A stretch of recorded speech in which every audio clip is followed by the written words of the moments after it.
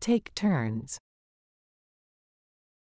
The idiom, take turns, is used to describe a situation where people alternate or rotate in performing a particular action or task. It implies that each person involved has an equal opportunity to engage in the activity. This phrase is commonly used in various contexts to indicate fairness, equality, and cooperation. Here are a few examples to illustrate the usage of take turns. 1.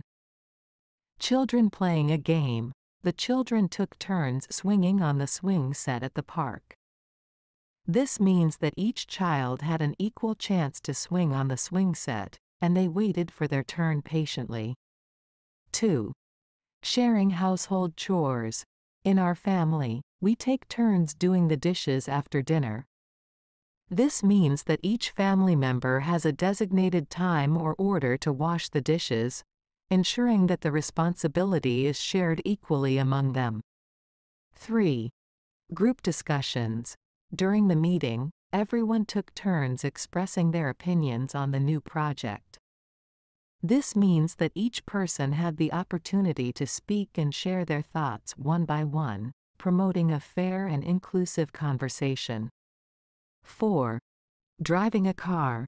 On a road trip, the friends took turns driving to avoid exhaustion. This implies that each person had a chance to drive the car, allowing others to rest and ensuring a safe and comfortable journey for everyone. Overall, the idiom, take turns, emphasizes the importance of fairness and equal participation in different activities, whether it's playing games, sharing responsibilities, or engaging in discussions. It promotes cooperation and ensures that everyone involved has an opportunity to be involved in a balanced manner.